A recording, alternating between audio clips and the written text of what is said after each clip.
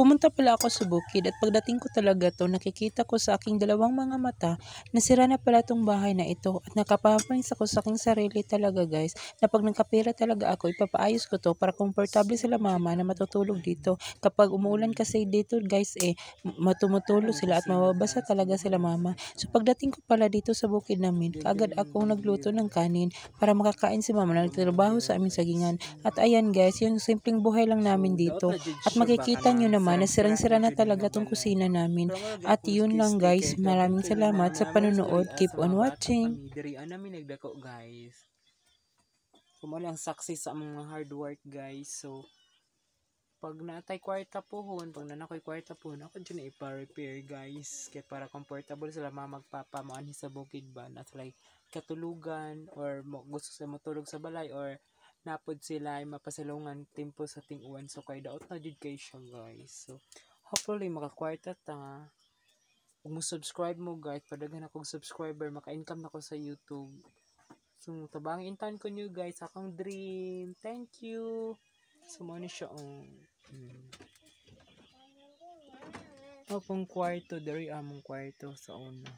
Kandod karon, pwede pa man siya tulugan pero ang atop kay daot na jud kayo. So naghukan ako diring dapita guys. Uh,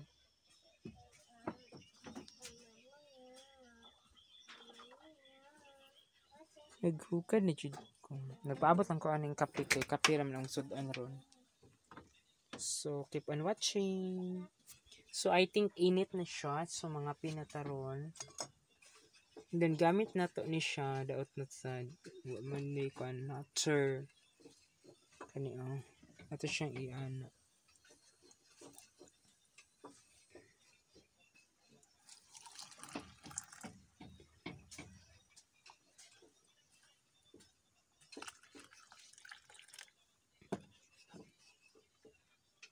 Then, ito siyang ikutin.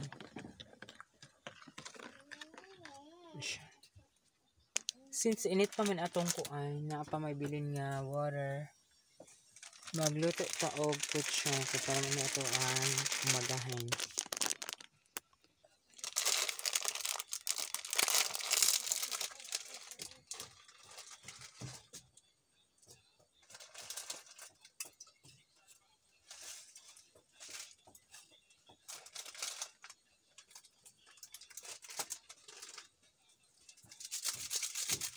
Ito na to ang seasoning guys.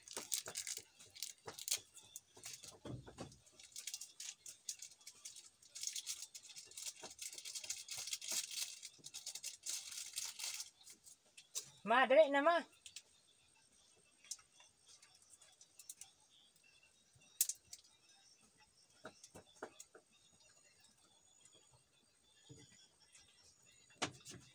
So, ayan siya nalunod guys. Mm, tanaw mo. Muna na siya guys. Mm.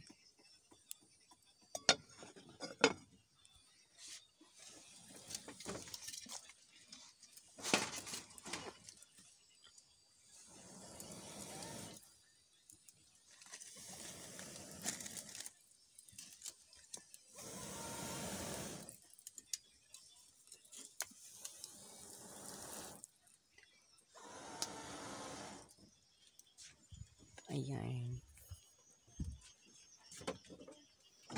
Sara alik na. umaw. Ha! Badlong mo tan umaw.